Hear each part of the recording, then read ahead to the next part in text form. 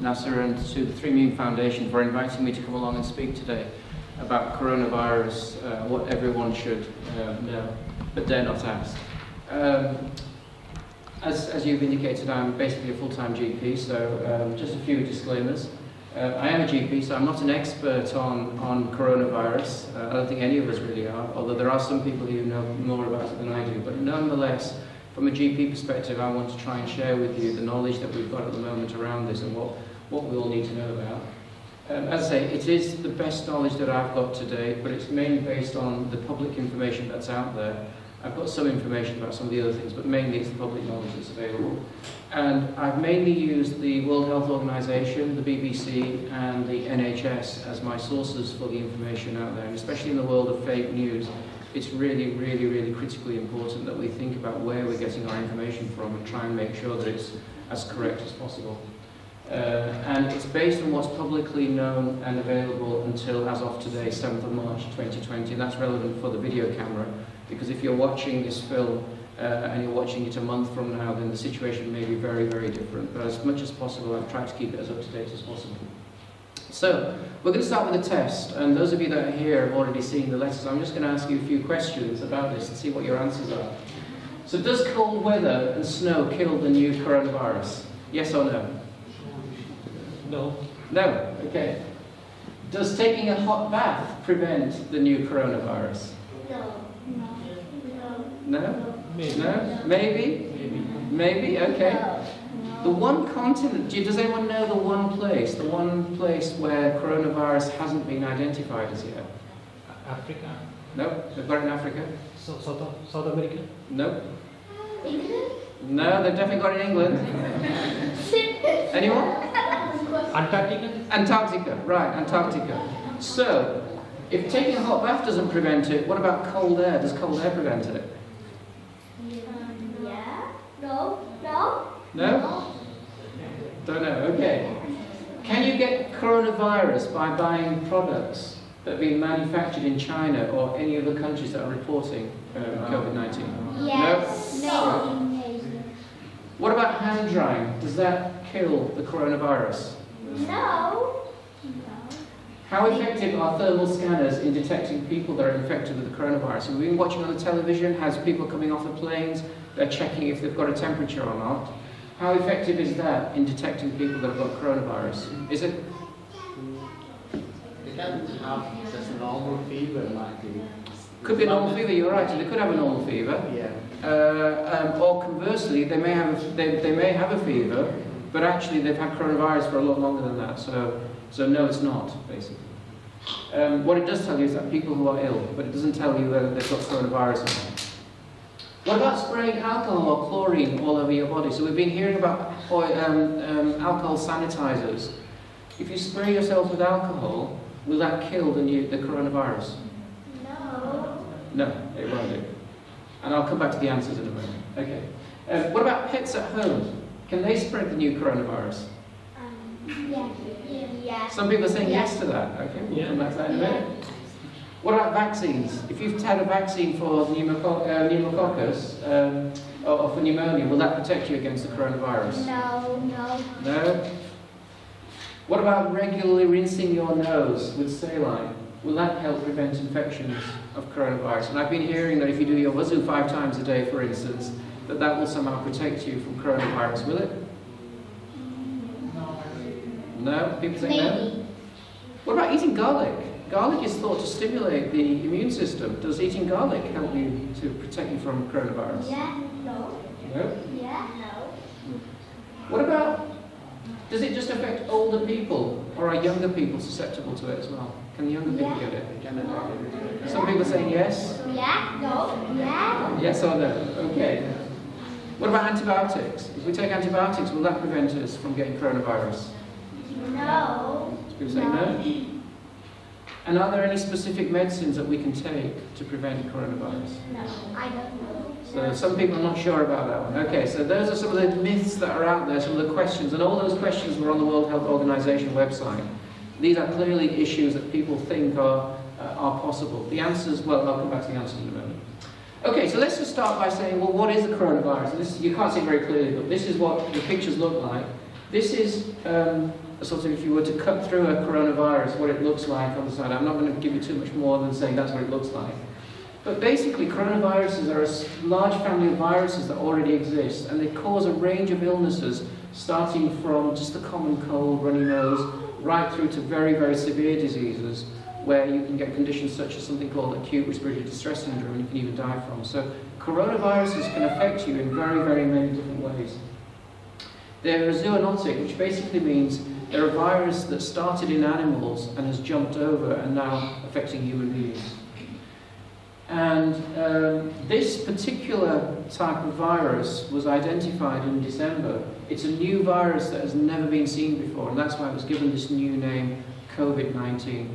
Around about a third of all the flu that we have at the moment, that we've always had, is a type of coronavirus, but this particular one, COVID-19, is a new strain that is causing all the difficulties and the cause of what we're talking about. So really what we should do is call it COVID-19 rather than just coronavirus, because it's that particular strain that's causing us all sorts of problems. It first emerged in a place called Wuhan in Hubei province in, in uh, China. And uh, they informed the World Health Organization on the 31st of December that they'd come across some cases of pneumonia that they'd never seen before. So that gives you some idea that for the first time, this was announced to the World Health Organization on the 31st of December, and today, the 7th of March, three months later, we're now talking about it here. So it gives you some idea of the speed with which this is spread. One of the problems with um, the coronavirus, or COVID-19, is that you don't know about it until you become symptomatic, until you become poorly. And in fact, it's only the ones who are really poorly, because most people who get flu don't go to see the doctor, they might not even go to the pharmacist. So it's the ones who are really quite poorly who then present themselves to general practice, or go to the hospital, or end up on the intensive care. And that's why the only ones that we really know about is the tip of the iceberg. The ones who die, the ones who are very, very severe, and maybe a handful of people who've got a fever and not feeling quite right. But the majority of people are down here where we know nothing about them. And that's why part of the reason is it's that you, you once you've been diagnosed with coronavirus, um, you've already had it for perhaps a week, 10 days beforehand that you knew nothing about. Because that's where these are. And this is the challenge that we have at the moment. But if I now forward from the 31st of December when there was a handful of cases and look at where we are now, this is a picture of what's going on globally at the moment. And you can see the dark areas where there's a large concentration of people with coronavirus. So we've got China, Iran, um, Italy, and Japan. But you can see that it's now spread to the other side of the world and is really now in, well, it's in 88 different countries in the world now. I'd say the only place it's not is up in, in, in Antarctica. But this is why this has now hit the press and why everyone is so interested. Because if you look at China, what happened in China, and the chances are what's happened in China may well spread to all the other countries. You can see that on the 21st of, so 31st of December, they announced to the World Health Organization, on the 21st of January, there are 309 cases. And as you start to go from 30th, 30th of January, 8th of February, 17th of February, 26th of February, by the 6th of March, they had 80,666 cases. That has happened in three months and gives you some idea of the speed with which it's spreading and the impact that it's then having throughout the world. But, and this is a really important slide, I think, that although there might be 8,666 cases, actually very few deaths. There's only about 3,000 people that have died. The vast majority um, don't die, they, they, they get poorly, they feel unwell, and I'll come back to how, how poorly they become. We've already got 54,000 people that have recovered from coronavirus and come back to normal. And that's a really, really important message that just because you get coronavirus doesn't mean that you're going to die. Actually, the vast majority of people will survive and go on and lead normal lives and things. So let's try and keep this in perspective, and I'm going to come back to that in a moment. But of course that was China, and then what happened is of course it spread. So in the last three months it spread, and this is the latest picture from today, well from yesterday, that the World Health Organization has said. And you can see how it spread from, uh, from, from China, which is over here, uh, to throughout the world. And you can see even in Europe where it's now spreading um, quite, quite quickly, and perhaps even in the local community. I'm going to come back to that in a moment. So, what can we do to try to prevent getting coronavirus? And this is the first thing, is at the moment we're not at the stage where we have it, majority of people don't have it, but what can we do to try and prevent it? And the first and most important thing is make sure that we are regularly washing our hands. Doing it properly and for at least 20 seconds. Really very, very important. You can use soap and water, you don't need anything special. You can get alcohol sanitizers and things, but actually soap and water is just as good. And that is the most important measure that we can take. Not garlic, taking garlic or honey or, or uh, washing you know, your, your, your nose and things. But washing your hands regularly is very, very, very important. If you do sneeze, then you'll see I've got a prop here. Make sure you have a tissue with you so that you can take the tissue and then you can, you can blow your nose in the tissue itself. And then of course, once you've blown your nose, make sure there's a bin that you can throw it in. Okay, so there's my other prop, the bin. That's why it's there. It's very, very important. And I want you to all to think about that now as you're going back when you're in your work environment, when you're in the kitchen, uh, when the children are watching television. Is there a uh, tissue box nearby is there a bin that they can throw it in so that it saves it doesn't cause um, the, uh, the virus to be in, in the environment for other people to pick up. If you don't have a tissue, then use your elbow and, and just uh, uh, blow your nose like that or cough like that. Again, try and keep it away from places where people are going to touch. Um, Try not to be near somebody who feels unwell because there's the possibility that they may be harboring the COVID, uh, the, the COVID-19 or the coronavirus. And then the one that's really, really hard is that for the coronavirus to enter our bodies, we need to touch our eyes or um, uh, touch our face. Okay, so the other thing that we all need to try to do is not touch our eyes and not touch our face. Now, when this specialist at the World Health Organization was talking about this, guess what he went and did? He put his hand on his face, and they had to point out to him, you're not supposed to do that. In fact, even while I was presenting my thing, I was thinking, what do I need to do? I was putting my hand on my face as well, so this is really difficult, but it's important that we try to not do it, and also sometimes we don't notice it ourselves. So if you see somebody else putting your hand on your mouth, try, not to do that. okay, so what are the symptoms of coronavirus? Well, typically, it's a dry cough. So if you're coughing lots of phlegm, that's not likely to be coronavirus. It's a dry cough. Um, you will feel short of breath, and you'll have a fever. Those are the typical three symptoms that people have. Sometimes you'll get a headache, sometimes you'll get achy muscles, which is what you often get with the flu anyway. But the main three symptoms are cough, difficulty breathing, and having a temperature. So, how safe is coronavirus and will I get worse? Now, when I originally did this slide, I said how dangerous, how deadly is coronavirus and will I get better? But actually, it's the wrong way of thinking about it. What we should think about is coronavirus, for most people, they'll survive. Why? Because for most people, four people out of five, they'll just get mild symptoms. They'll just get, they'll feel fluey, they'll feel achy, uh, they'll have a slight temperature, but they'll get better. And that's the vast majority. Four people out of five, 80% of people. Another 14% of people, just over one in 10, will get much more severe symptoms. And they'll be poorly enough to want to come to the GP surgery, or contact the GP surgery, I should say, rather than come, contact the GP surgery, or maybe present uh, and, and, and want to present themselves in hospital. And then 6%, 6 out of 100, will become critically ill. Second, thank you very much. Okay, so who is at risk of developing coronavirus? Now, this is still a moving target at the moment, but what I'm going to share with you is the two papers that have come out recently. One was with the report that came to the World Health Organization in China. That was published on the 28th of February, just less than a week ago, and it's based on 55,924 laboratory confirmed cases. So these are people who definitely were diagnosed with coronavirus, COVID-19. The other paper came out on the 17th of February, just before that. Now this one was just produced by the Chinese, it wasn't a joint thing. Slightly different, so it had a few more cases, 72,000, but it was based on confirmed, suspected, and those that had no symptoms at all. They were just well and they, they, they, they were diagnosed on it. Um, so slightly more cases, but suspected and asymptomatic. Okay, and what did they find? And this is the findings. First of all, elderly people are much more likely to be at risk than younger people. And here's the data that shows it. So if you were more than 80 years of age, confirmed death was one in five. So if you're, what that means is that if you're over 80 and you're diagnosed with COVID-19, then you have a one in five chance of ultimately dying. On the other side of the coin, if you're less than 10 years of age, then there were no fatalities. No children under 10 died based on this, this the data that came out. Um, and if we look at under 50 years of age, less than 0.4%. That's one person in 200 um, ended up um, dying. And even that, that's all cases.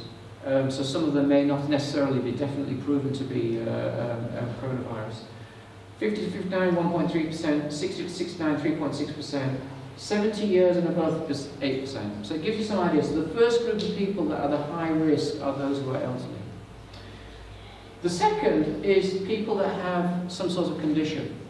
And if you suffer with cardiovascular disease, so if you suffer with angina or ischemic heart disease, then you had a somewhere between 10 and 13% risk. So slightly over 1 in 10 people with cardiovascular disease who have coronavirus ended up dying. Diabetes, 7%, 7 till 9. Chronic respiratory problems, so that might be asthma or chronic obstructive pulmonary disease, uh, it was somewhere between 6.3 and 8%. If you've got high blood pressure, it's 6 to 8%. If you've got cancer, it's 5.6 to 7.6%. But again, if you don't suffer with any health problems, the chances of you dying are less than 1 in 100. Okay, so those people that have other illnesses are more likely, and particular heart disease and diabetes. And of course, if you've got multiple conditions, then you're more likely to run into problems. Okay, this is not good news for the men in the room because unfortunately it does seem as though men are more likely to, um, to die than, than women. That's what the data shows, but what that doesn't tell us is that actually men, and, and remember that this is data from China as opposed to here in Sale or the rest of the world, but in China, men are much more likely to smoke than females. And so it might well be that the men were dying because they were also smokers. So there's still some um, confusion about whether this is real or not, or whether this has more to do with the fact that the men in China had other pre-existing conditions, or they were already smoking and therefore had damage but hadn't been diagnosed. So I'd take that with a pinch of salt, but at the moment, um, currently, it seems as though men are more likely to, to die than women. And then this is, this is data from yesterday, and this is showing what is going on in the UK, closer to home. And what you can see is that overall, this is from yesterday, 147 cases of um, coronavirus, which they've broken down into regions. And if we look at the northwest, it's 21 at the moment. Now, those numbers are so small at the moment that we can't really say that one area is more dangerous than another, but it gives you some idea of the kind of numbers that we're talking about In fact, that's 147, which is what they've published on the national website.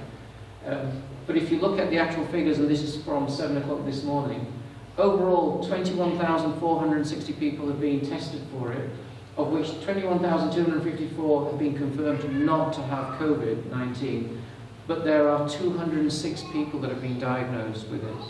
And out of them, two patients who tested positive have died. Another way of looking at this is out of the 21,000 or 20,000 or so patients, 200, about 1% of those that have been tested. And remember that for you to be tested, someone needed to think that you might be at risk of getting coronavirus. So of those that they thought you might have coronavirus, only 1% actually tested positive. So if you were asked to be tested for it, don't think, oh my gosh, I've got this, because your chance of having it is 1 in 100. And of those 206, only two currently have died. Now, this is a changing picture, but it gives you some idea that at the moment, most people don't have this, and most people should be okay. So the current risk level that the Chief Medical Officer has stated for the UK is that this is a moderate risk. This is not high risk at the moment. That could change, but currently it's moderate. And so therefore they are saying that most people should continue to go to work, to go to school and other, other public places. There is no concern currently that you shouldn't be going to work. But I'm going to come back to that in a moment in terms of what we can do. You only need to stay away from public places if you've been advised by the 111 online corona service or if a medical professional has advised you to um, isolate yourself. Otherwise, you should just continue doing your normal business like you would. Just like today, we are here in this gathering. It's quite safe for us to continue to do that uh, currently, unless you are told otherwise. So, who is at risk? And this is the definition that we've got. This is a bit of a medical definition because that's what we've been given. So I want to share with you what we've been told so at least you understand it. And it says that if you've had contact with somebody who's confirmed to have COVID-19, remember at the moment that's 206 people, or you have returned from a high-risk country, and I'll come back to that in a moment, in the 14 days before you started with your symptoms, and these are the symptoms that we are looking for. Acute respiratory infection with any degree of shortness of breath or cough. So if you feel short of breath, or if you have a cough, whether you have a temperature or not, it doesn't matter. If you are fitting with one of those, or you've got a fever but no other symptoms, or you've been diagnosed with a severe respiratory infection that requires an admission into hospital, not to come to the GP surgery, but admission into hospital, with a clinical or radiological diagnosis, radiological being an x-ray that shows that you've got pneumonia, or you've been diagnosed with this condition called acute um, respiratory distress syndrome, ARDS. They are the group that are at risk. But then, what about the contact? So, if it's if it's the contact with someone who's confirmed with it, well, what, what, is it, what, what, what do we mean by a contact? Well, a contact is someone who lives in the same household as a person who's been confirmed to have COVID-19, or they've had direct contact with someone who is confirmed to have COVID-19, or their body fluids, and they've not been wearing this personal protective equipment that you've seen on television. I'm going to show you a little bit more about that. Or they've had face-to-face -face contact with a person with a confirmed infection, or this one. And this is probably the one that's the most important. Being within two meters of a person with a confirmed infection for longer than 15 minutes. So if you walk past somebody who looks a bit unwell, but you've walked past them and you've only been there for seconds, that doesn't suddenly mean, oh my gosh, I might have COVID. You need to have been with that person and you need to have been within sort of two meters of that person for at least 15 minutes to then be able to possibly say that you, and, and that person is then confirmed to have um, um, COVID-19, then you would be considered to be a contact. But just walking past somebody is not considered that. Um, and if you've been there just for five minutes with somebody, again, that's not considered to be a risk. Or if you've been advised by a public health agency that you've had contact with a confirmed case. So those are the contacts. Okay. What about people that are travelling back from other countries? Well, if you've come back from Iran, Hubei province in China, in the lockdown areas in northern Italy, or in the special care zones in South Korea, as soon as you come back to the UK, you have to self-isolate yourself for 14 days, whether you have symptoms or not. It's irrelevant. This is, what you, this is the advice that we've been given at the moment. But, if you've come from some of these areas, so mainland China outside of Hubei province, Italy outside of the lockdown zone, South Korea outside the special zones, Cambodia, Hong Kong, Japan, Laos, Macau, Malaysia, Myanmar, Singapore, Taiwan, Thailand, and you develop symptoms of a cough, high temperature, or shortness of breath in the previous 14 days, then you should then put yourself forwards and say, I could be potentially at risk of coronavirus. That's the advice and guidance that we are being advised at this moment in time. Um, my own experience as a GP in, in, in Tameside is that we've had patients come back from Thailand and we've had patients come back from Singapore and Malaysia. Um, and of course, you may also think about it in terms of in your own families and your communities, which of these places you've been to. Um, and if you've been there, chances are that you know other people that have also been to those places as well. But that's been my experience up till now. Okay, what should you do if you think you have got coronavirus? Well, the first thing, most importantly, is to protect yourself and other people. You must not go to your GP surgery, or go to the pharmacy, or go to the hospital. This is really, really important. Up till now, we've always advised you feel poorly, go to your GP surgery, go to A&E, go to pharmacy. In this situation, if you think you have coronavirus, it's really important that you don't do that. What you should do instead is contact the NHS 11 service. And there's a link on the, on the website that you can go to, on the NHS 111 website. If you go to nhs.uk, you'll see the link to it. You go onto that link, and then it says if you think you've got coronavirus, you click on that, and it asks you a whole series of questions which are based on the things that I've just described just now. And based on that, they will then advise you about whether you need to do anything or not. So if you think you, you have coronavirus, or in the last 14 days you've been to one of those countries that I mentioned, or you've been in close contact with someone whom you know has coronavirus, and you develop symptoms, then you should go to the 111 Corona service. You shouldn't even ring 111. Um, at this moment in time, the advice is not to ring 111, but to go onto the online service if you can. If you don't have the internet, then of course, then ring 111. But the vast majority of the population, 91%, the latest figures show 91% of the population in the UK is online, is using the internet. So you shouldn't need to ring 111, go to the online service instead. And if they advise you that uh, yes, you are potentially at risk of coronavirus and you now need to self-isolate, then this is what you need to do. And it starts by saying that you must stay indoors for 14 days and separate yourself from the rest of your family. Okay, so even if your family is also advised to stay in the same house, that doesn't mean we'll all sit together and eat food together and watch television and everything. You need to separate yourself from the rest of the family, but stay within the home itself. You should have um, a bin with your tissues, of course, uh, because of course you will have a runny nose and things. But that bin, when you throw the tissues into the bag, in, into the into the um, in, into the bin, um, it should then be the, the tissue should then be put into a double bag to try and stop anything from that um, infecting anything else at all. And you do that whilst you're waiting for the tests. Now, in terms of the tests that they're going to do, and different places will do different things, and we're not quite clear about exactly what's going to happen, but they're going to take swabs from your throat and from your nose. The reason I haven't got a picture of how that's going to be is because different areas are going to do it differently. But the important thing is that they're going to swab your nose and your, and, and your mouth.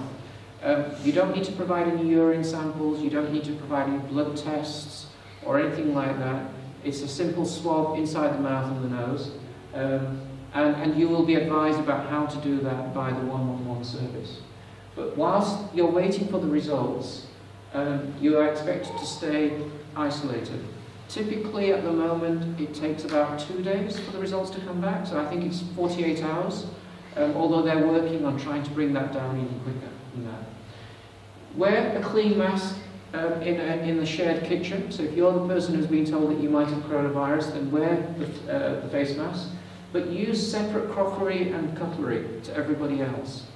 And the other thing that's important is that you go from your room that you're in, you go down to the kitchen, you get the food, you go back into your room and you eat in your own room as much as possible.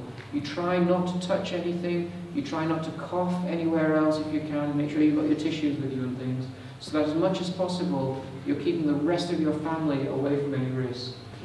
Don't invite any visitors to come and visit you, but it's okay for you to ask for people to drop food off for you, uh, knock on the door, uh, and, and, and that sort of thing. But don't invite them and sit down for hours and hours because you're putting them at risk as a consequence of that. Use a separate bathroom if possible, or clean shared, uh, or clean shared bathroom regularly and use separate towels. And again, what they're advising is that um, if the family is going to go to the toilet, for instance, in the morning, that everybody else should go first, and the person with coronavirus should go last and spend the least amount of time in the bathroom as possible, because that's a high-risk place where it could spread to other people. So that's what self-isolation is about. And that would happen for two weeks. Okay, some people are worried about payments. What happens to your earnings if suddenly you are told that you have to um, self-isolate? So um, I'm not an expert on this, but I want to give some idea of what the situation is at the moment. So the government currently is saying that employers should pay sick pay for those who've been asked to self-isolate. So if you are an employee then your employer should be expected to pay you while you're off for those two weeks. There is statutory sick pay for employees, which is £94.25 a week. That normally kicks in after you've been off for three days.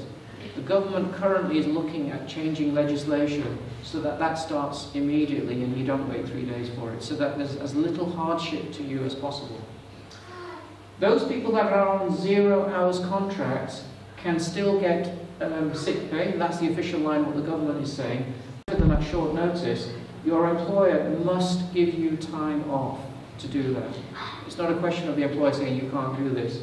They have to do that, and this is again, this is what's coming from the official um, government. However, unfortunately, you probably won't get paid for it whilst you're off, unless it says so in your contract. So again, have a look at your contract to see what happens. If you're asked because you're caring for your family or somebody else. But you might be able to work from home. And I'm going to come back to some of the things that you can do at the moment so that you can still be functioning whilst you're staying in your own home environment. Okay, so what should you expect from your GP surgery? Um, well, the first thing is that you should expect your GP surgery to remain open and accessible. In other words, business as usual. That's what should happen. We've had a few cases around the country where people have walked into a GP surgery and said, I think I've got coronavirus. That's been a disaster because as a result of that, they've had to close down the whole surgery and then they've had to deep clean it, which clearly has an impact on everybody else. We're really hoping that people don't do that. So if you want to keep your surgery open and accessible, don't go to your GP surgery if you think you've got coronavirus. Your GP surgery should have already put up posters on the walls or even on the windows outside the door. So if you, come, if you go to your GP surgery now, even though it might be closed, you may well see posters up there telling you what to do, but actually it will be the information that I've provided here for you. Some of you may well have received text messages from your GP surgery telling you what to do. Have a look on the practice website, and there may also be warning notices if you're going online to book your appointment to tell you what to do. So this is something that you know all GP surgeries have been advised to do, and hopefully you've already received all that. I'm now going to show you a few things that practices are doing now as we speak, and even over the weekend my WhatsApp has been really, really busy as practices are starting to turn things around.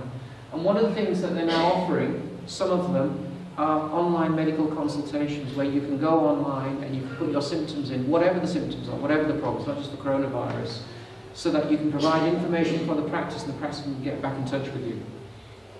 They're offering telephone consultations, so rather than you having to see the, the doctor or the nurse, they're speaking to you on the phone. Of course, remember that the risk isn't just for the doctors, but also for yourselves. Do you really want to walk into a GP surgery, sat with somebody who's coughing and spluttering, and they don't yet know that they've got coronavirus. So I'm sure from your point of view as well, you would also prefer to talk to someone on the phone rather than going in. Some of us are now introducing video consultations, which is like a Skype call or a FaceTime call, so that if you need to see the doctor or nurse, or if the doctor or nurse needs to see you, then we'll be able to use video consultations to do that. And again, there's been lots of activity this weekend with lots of practices asking how to do it because again you may well not have had this up till now but we are going to have to turn things around and maybe even switch this on um, uh, almost instantly and to give you some idea before I, this afternoon as I was preparing this talk I was talking to my partners and said listen we need to switch video consultations on and we actually had a go at practicing with each other and video consulting with each other just to see how it's like so it gives you some idea of how things are changing very rapidly Of course, we now know how to do it. We're now going to need to communicate that to all our patients to say, if you've got a smartphone, can, you, can, can we video consult you rather than having to see you in person? Um, we've now been advised to stop all online booking of face-to-face -face consultations. So lots of GP practices around the country have allowed you to go online to book an appointment so that you can then just turn up at the surgery. We've now been advised to stop that because it would be highly dangerous. Uh, and the reason for that is because you'll then just turn up without any doctor or nurse having a look at what you're doing. So those of you that are being able to book appointments online face-to-face, -face, you'll find that you won't be able to do that anymore. For, and it's for your safety as well as ours. Uh, what we've also done is sometimes practices can allow you to book an appointment in advance, a week from now, to be seen by the doctor of your choice. Again, we personally in our practice have now stopped this. Again, that was a decision we made this weekend. And you may well find other practices do the same as well. So that the options will be telephone consultations, video, online medical consultations. Okay, what else is going to happen? When you ring up the surgery and you say, I'm not feeling very well, the receptionist may well ask you these three questions. Firstly, do you have a high temperature, a cough, or are you feeling breathless? Secondly, have you been in close contact with someone who has been proven to have coronavirus? And thirdly, have you been to any of these following areas in the last two weeks? These are the high risk places, and these are the risks, these are the areas where we know that there's a lot more coronavirus going on. And this will become and should become standard questions that receptionists will automatically ask you uh, when you ring up the surgery. So don't be surprised if this happens. If you are deemed at risk and you've come to the GP surgery, because some people will end up doing that, if you arrive, remember we've got 15 minutes and that two metre distance. So if you arrive at the GP surgery, and we really don't want you to do that, but if you do do that, you will be asked to return back to your home immediately and phone 111. At this moment in time, you're not being advised to take a face mask or anything like that, but clearly it's very, very important um, that you, uh, you get back home. It's advised that you don't use public transport, so don't go on a bus, don't, don't call Uber or a taxi and say, can you take me back to my home again? Because you're then going to infect that, that taxi, that bus, and that will cause problems. So you'll be advised to go straight back to the, so there's no point coming to the GP surgery because you'll only be told immediately to go straight back home again. And you'll be advised to, uh, or, sorry, or if you are really quite poorly and you can't go back home, then you will be advised to go into what we call an isolation room. And every GP surgery will have a designated isolation room. And I'm going to come back to that in a minute in terms of what that involves. If you're in the consulting rooms, if you were sat with me and say, hello, what can I do for you? And you go, well, I've got a cough, I've got breathlessness, uh, and I've got a fever, and I've just come back from Iran, or I've just come back from Thailand, then what I will do immediately is get up and walk out of the room and close the door behind me. Okay? Again, please do not be surprised if a clinician does that. They are doing that for your protection as well as ours. And we will leave you in that room with the door closed. And then we will phone you so that we'll explain what has happened. We will leave the room first and phone you back to explain what's going on and what will happen next. And what will happen next is that we will then contact Public Health England and advise them about what's happened, and then they will then advise us in terms of what to do and how to get you out of that room into somewhere else. That's going to seem very, very strange when a clinician just immediately gets up, doesn't argue with you. That is what we are being advised to do. Okay, so what happens in this isolation room in the GP surgery when you're suddenly left on your own? Well, the door is shut. We advise you to open the window in that room so whatever is can get out. Um, we advise you to sit in the chair. Um, and wait for the phone to ring because we'll phone you to explain what's going on. And then if there's tissues there, then again, use the tissue and use the bin uh, to clear, clear everything. And that's going to become the isolation room where that person is there until that person has been removed.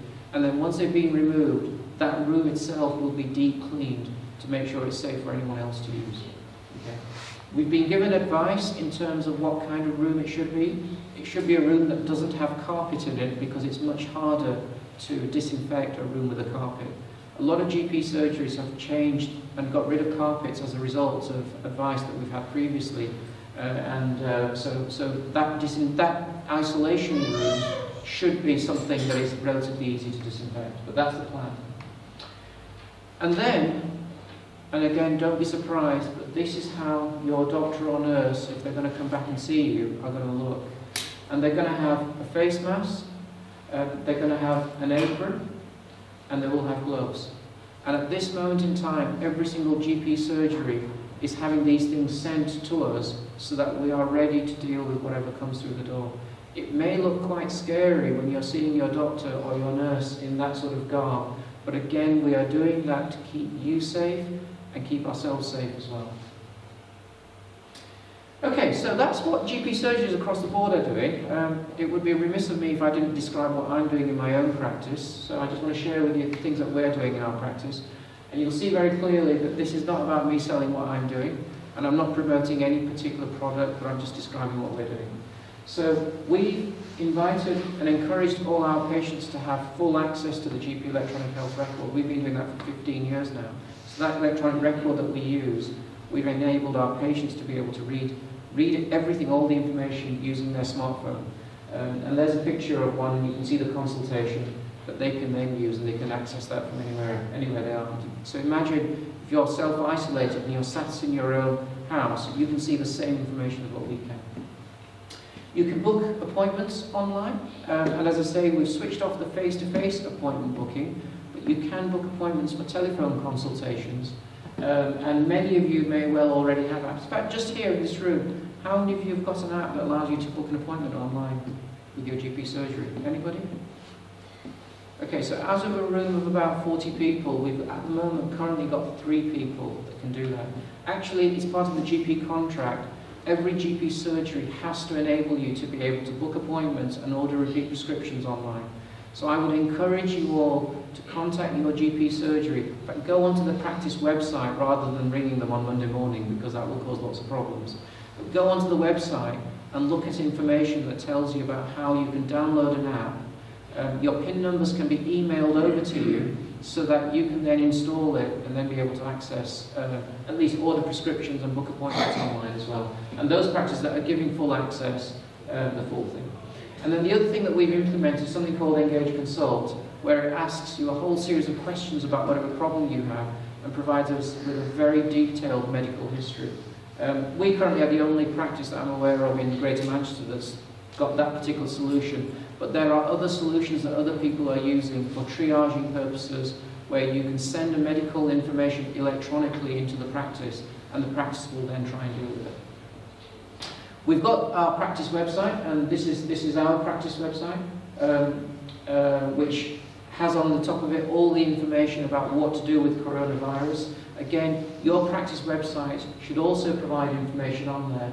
We've gone a little bit further than what the, the national guidance says including things like how to self-isolate, which is what this video is actually a video that BBC have produced, but it's a great little video that explains things, and what the current situation is, what's going on. So we are providing information about what's happening to our patient population in Hyde and in Haughton Green, um, because actually we feel that patients want to know what's going on locally and not just what's happening nationally. Um, and then We've been sending text messages to patients. So how many here have received a text message from their GP surgery to say if you have coronavirus? So again, out of about 40 people, we've got about five at the moment that receive a text message. That's useful for me because I will go out and send a message to all my GP colleagues to say you should send text messages out to everyone to know what to do about it. Um, we've just um, introduced something new that we're just about to start, which is an app that allows us to send a specific message to um, the patient and then they can see videos and photographs. It's very, very new. It's not readily available at the moment. But we've done that. And I mentioned Engage Consult, which is um, a website that you can use on your smartphone that allows you to send medical histories in. Okay, so let's do the test again. Does cold weather and snow kill the, kill the, uh, the new coronavirus? Yes or no? No. Does taking a hot bath prevent the new coronavirus? No. No. Does Antarctica, if we go to the cold weather, does that kill the coronavirus? Yeah. yeah. No, it doesn't. It doesn't make any difference at all. The reason it doesn't make any difference is whether it's hot or cold, our bodies are designed to stay at a temperature of between 36.5 and 37 degrees centigrade. So it really doesn't matter whether you're in a very hot climate or in a cold climate. Our temperatures are the same, and because the virus doesn't live outside, I think it only lasts about seven or eight hours. It lives inside our bodies, and because our bodies are the same temperature wherever you are, it makes no difference. The only reason it's not got to Antarctica is because we aren't going to Antarctica. If we were going there, I'm sure it would have arrived there as well. Okay, can you get coronavirus by buying goods manufactured in China or any other country that's reporting COVID-19? No. No. Are hand dryers effective in killing the new coronavirus? No. No. Why? why hand dryers not effective? Do you know? They dry hands. They dry hands, you're quite right, well done, good answer. Because where does the coronavirus live? Inside. Inside our bodies, exactly. So washing your hands won't get rid of it. inside your body. Sorry? Hair dryer can't get inside Exactly, so that's why hair drying won't clear it. You're quite right. What about thermal scanners? Are they good at in, in detecting people that are infected? And we said, no, they're not, because all they detect is that you've got a temperature. And remember that you may well have the coronavirus for up to 14 days before you start with your temperature.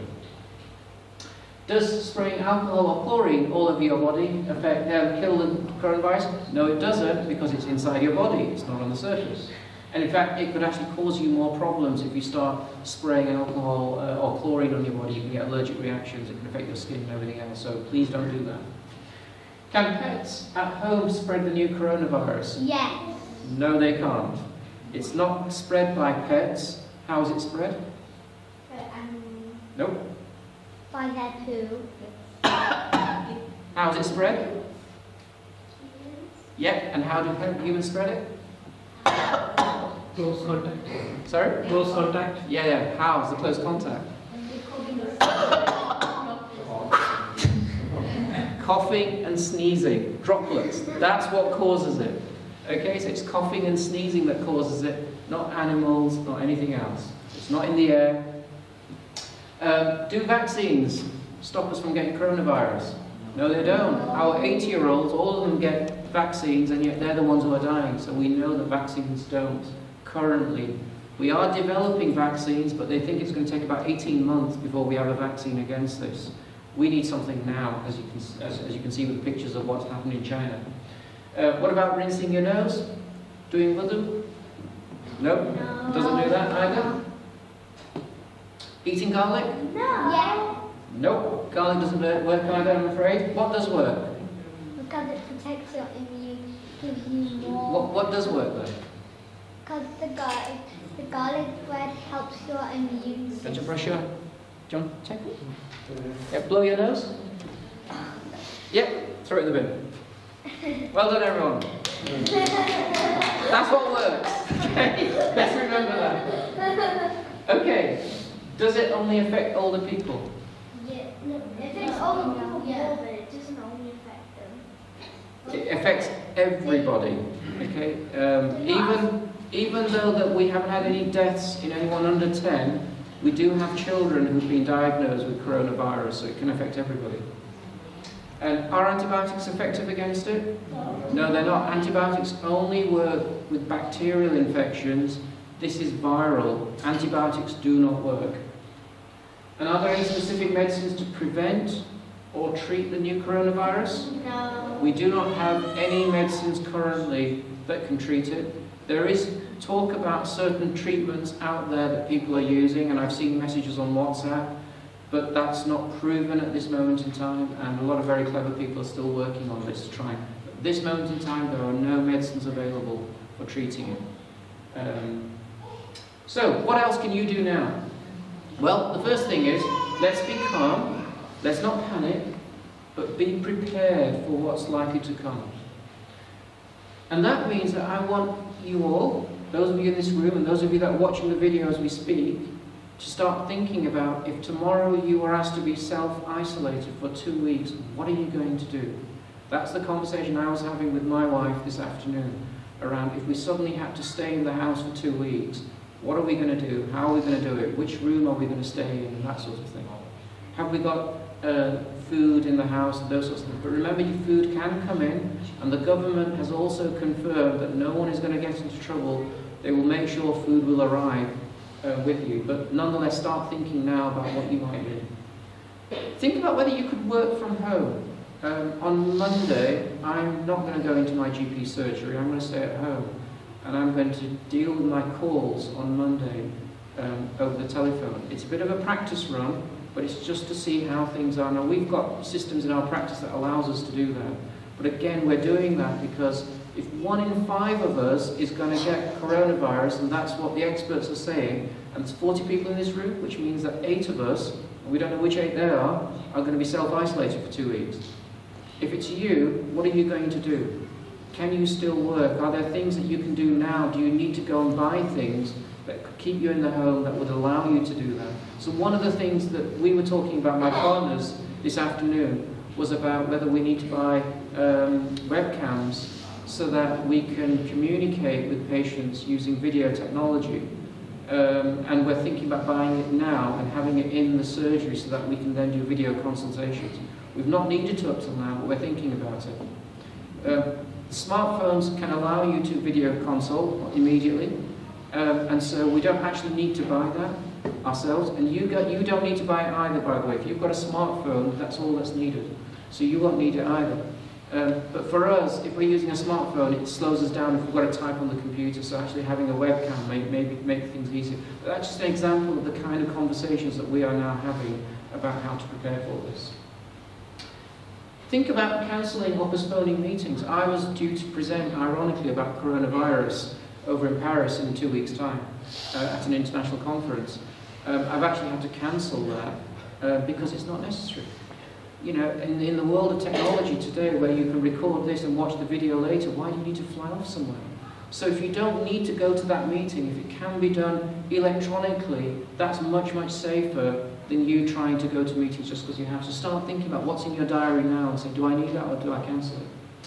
Wash your hands frequently with, salt, with, with water and soap or a sanitizer uh, and catch your coughs and sneezes in a tissue. Practice it. Go home today and say to everyone, if you cough, what are you going to do? If you sneeze, what are you going to do? Get everyone to have a go so if you practice and practice and practice, it will become normal for you so you'll know what to do when you need to do that. And keep telling everyone about that. Make sure you know how to use the online services. If you are someone who's on medication, you need that medication, download the app if you don't know how to download the app, ask somebody. Get in touch with somebody. If you still don't know, contact me. I'm happy to try and help you or point you in the right direction. We've got all sorts of information to help you. But do that now whilst you can. Don't wait until you're stuck and then think, how do I get my medication? And not only say, oh, I've got it, but make sure it's working. Log on today and check.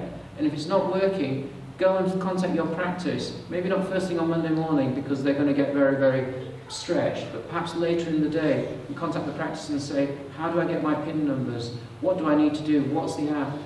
Ask your children, ask your grandchildren if you're not very good on the IT. They'll be able to help you. Uh, we've got a number of IT specialists in the room today, maybe in the discussion we can talk about what we can do to try and make sure that everybody knows somebody who can help. I mentioned a temperature is one of the symptoms. But it's amazing how many people don't have a thermometer. So in this room, how many people have a thermometer in that at home? Okay, so in this room, I would say that something like two-thirds of the adults, we'll keep the children out for a minute, two-thirds of the adults have a thermometer. That still leaves a third of us who don't, and that's in this room. So if you haven't got a thermometer, please go out and buy one, because that will be very helpful for you. Keep paracetamol and ibuprofen in your home if, if, if you can, and other uh, um, over-the-counter remedies.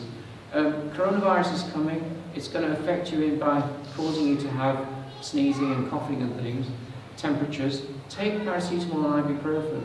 I'm aware that some of the pharmacies are now starting to run out of this medication, of, of, of paracetamol and ibuprofen. It may cause difficulties, so don't panic if you can't get hold of it, but if you can, make sure you know where it is and make sure everyone in the family knows where it is as well. Use health services wisely. We are under fantastic pressure at the moment.